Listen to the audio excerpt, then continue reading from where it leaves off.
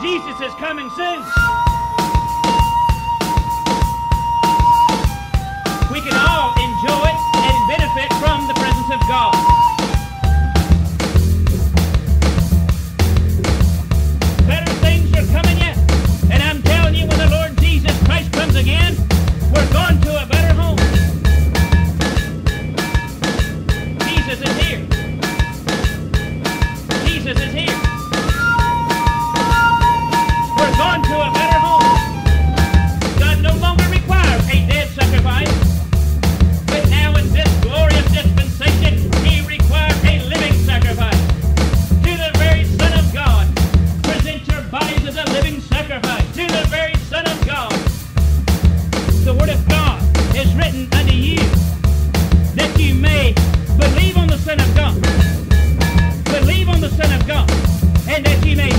that you have.